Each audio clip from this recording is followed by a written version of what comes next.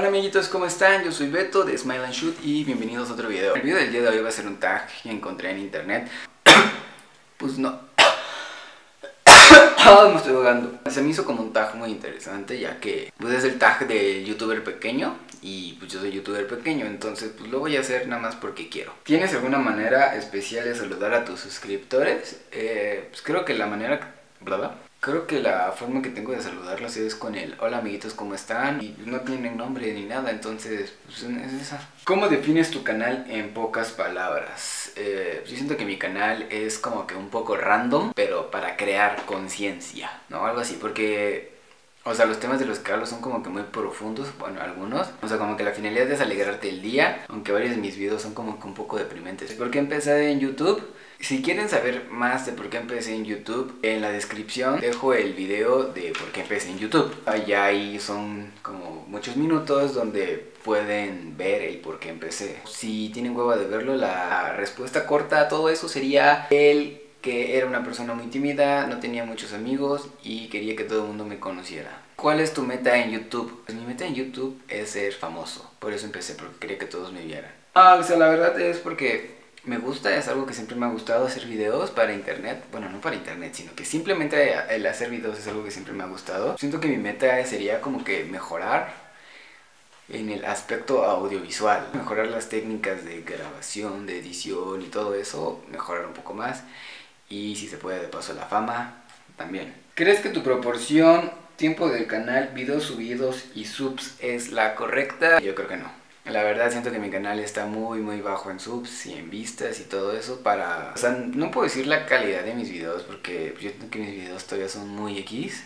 Pero para el esfuerzo que yo le pongo a algunos videos y espero que lleguen a más gente de la que no llegan, o sea, así como que es medio triste, ¿no? Por eso siento que mi relación subs, tiempo y todo eso, pues no es la correcta. Además porque, o sea, sí tengo varios videos que neta, o sea, la mayoría yo siento que no compiten con videos chidos, pero tengo varios que digo, güey, o sea, si lo subo otro vato más famoso que yo, va a llegar a, ¡pum!, un chorro de gente y lo van a compartir por todos lados y todo eso. Pero pues como soy yo y no soy nadie, pues nadie lo comparte, ¿no?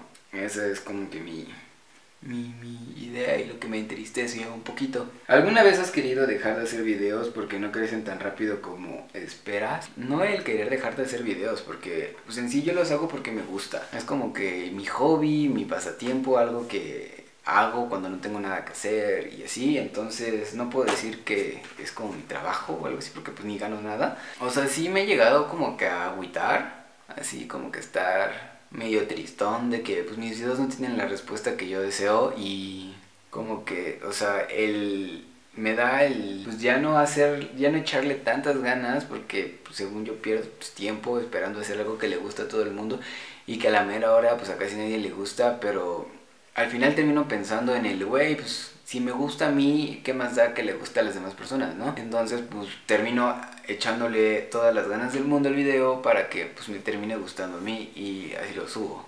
Porque la neta, si un video no me gusta como queda, no lo subo. Si este video no me gusta como queda, nunca lo van a ver.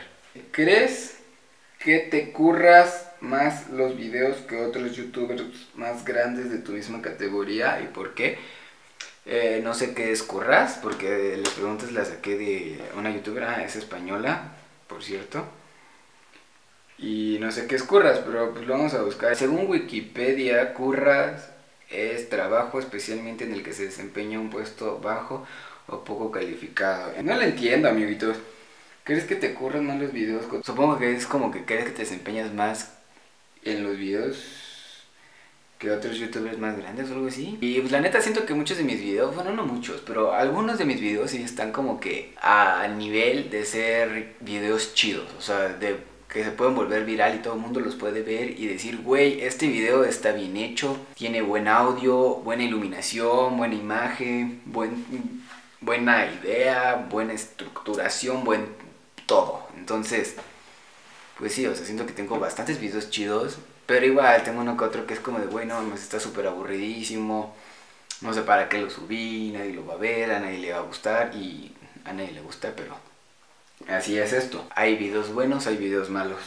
¿Qué crees que le falta a tu canal para crecer más? Siento que para crecer más le falta difusión. Consejo que darías a otros canales más pequeños. Si vas a empezar en YouTube, que sea porque te gusta, que sea por diversión, no lo, no lo quieras hacer como un trabajo o algo así, porque pues la neta pueden pasar años y nomás no vas a ver ni un solo peso. Si lo haces por diversión, por hobby y todo eso, puta, el tiempo se te va a ir rápido, te vas a divertir haciendo esto. Vas a pensar, no sé, pues a lo mejor en unos 3, 4 años que veas tus videos vas a decir como de, güey, jajaja, qué estupidito estaba, ¿no?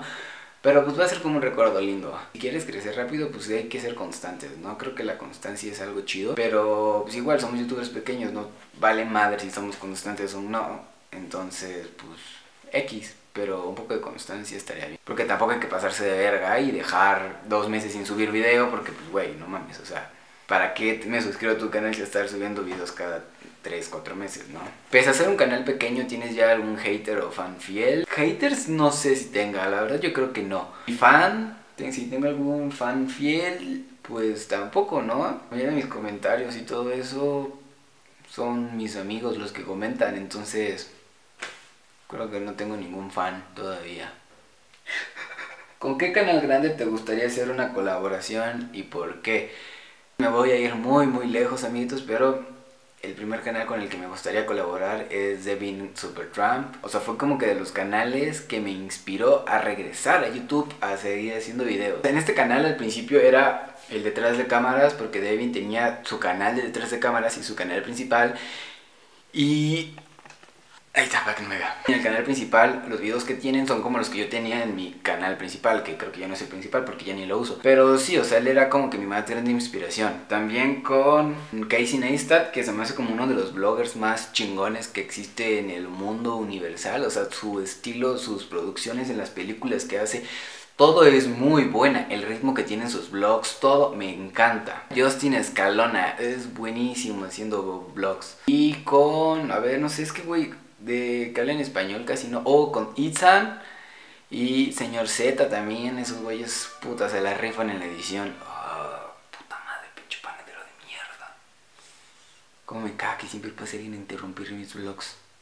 Pero bueno, sigamos. ¿Qué tres canales pequeños recomiendas? Marca como canales pequeños, canales con menos de 10.000 subs. Entonces, pues los canales pequeños que conozco si bien son de mis amiguitos. Y pues los más cool que conozco es por ejemplo, el de Roy Tobón, ese güey, neta, no sé por qué no tiene más subs. Se merece muchísimos más subs ese güey. Tiene edición, tiene contenido, tiene todo su video. Eh, otro es Leo del Te Masturbo. Igual, sacan cada sketch cagadísimo que te mueres de risa. Súper bien hechos, todo súper bien planeado. Pero no suben videos. Bueno, ya no he subido videos. Y por último, el de Yamil Rex. Yamil le pone mucho feeling, igual a la edición. Igual algo malo, pues no sube videos el cabrón, ¿no? Pero podemos ver su trabajo en videos de youtubers grandes. Ah, todos los canales que estoy mencionando los voy a dejar aquí en la descripción, por lo menos los canales pequeños, porque los grandes creo que pues la mayoría los conoce. Y si no los conocen, pues nada más tienen que escribirlo en el buscador y